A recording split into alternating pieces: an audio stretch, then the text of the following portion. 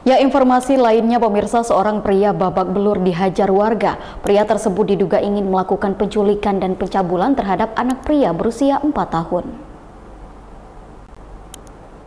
Seorang pria berinisial S warga Kelurahan Eka Jaya, Kecamatan Palmera, Kota Jambi, babak belur dihajar masa. Pria tersebut diduga hendak melakukan penculikan dan pelecehan terhadap anak laki-laki usia 4 tahun di Sungai Kambang RT 2 Kelurahan Simpang 4 Sipin, Kecamatan Telanaipura, Kota Jambi.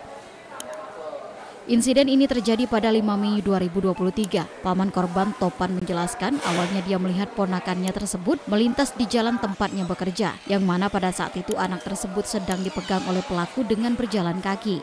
Namun saat ditegur oleh paman korban, pelaku langsung kabur meninggalkan korban. Dan saat itu paman korban langsung mengejar pelaku. Setelah tertangkap, warga sekitar pun langsung ramai-ramai menghajar terduga pelaku pas mau ditanya mau ke mana lah mau ikut om ke atas kata dia. Om ini ngajak ke atas. Oke uh, modus dia atau cara dia mengajak orang-orang itu apa sih? Dia kita tahu juga kami kalau udah ngomong apa dengan polisi kan kami cuma nyuruh dan dibalik aja. Dia berjalan terus setelah kami kejar. Mau kami tanya kan oh, pas abang mengejar lari itu dia lari? lari saat pelaku berhasil ditangkap warga, pelaku langsung diinterogasi dan barang milik pelaku juga diperiksa. Setelah diperiksa, kecurigaan warga semakin kuat karena ditemukan sejumlah alat kontrasepsi.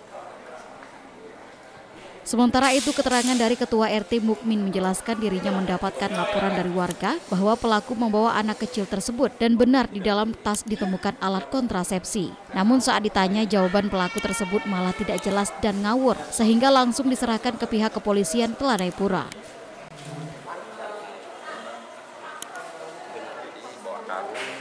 bahwa ini semua intinya. Itu tidak ya? Ada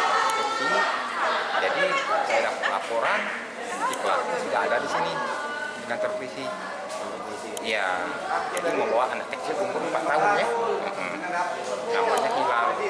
Jadi ditanya itu. Ngawur pembicaraannya itu. Rudiansyah, Jambi TV.